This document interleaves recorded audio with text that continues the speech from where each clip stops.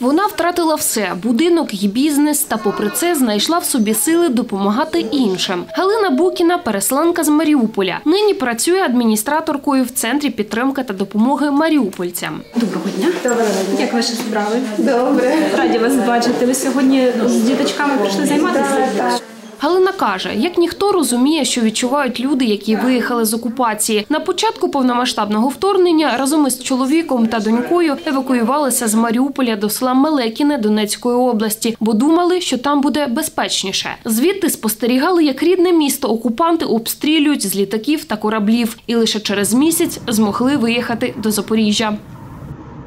18 квітня ми були у Бердянську, і потім не було колон. Ми самі через інтернет сформували групи, якісь там знайомі з Маріуполя, і ще декілька людей, і сформували колону і їхали. Ем, ну, якби коридору не було. Казали, що не їдьте, вас не пустять. І там потім там танки їздили. Казали, що ми з дорога, бо можете переїхати. Ну, лякали всяк всіляко, тобто і діти боялися. Все, що було куплено, все разом з будинком, тобто зруйновано вщент. Життя, яке там було, усі ці спогади і ну, власні речі, все залишилось там. Евакуювавшись до Запоріжжя, Галина почала допомагати тим, хто, як і вона, був змушений покинути рідний дім. Та окрім роботи в центрі Я Маріуполь, наважилася відродити власну справу зі створення їстівних букетів, якою займалася до повномасштабної війни.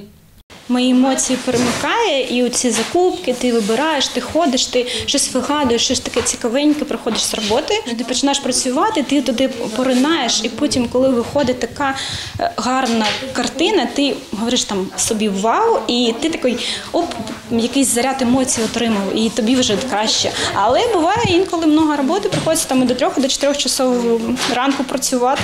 Окрім їстівних, Галина створює й букети з побутових речей, а також влаштовує майстер-класи для дітей, які відвідують центр Я Маріуполь.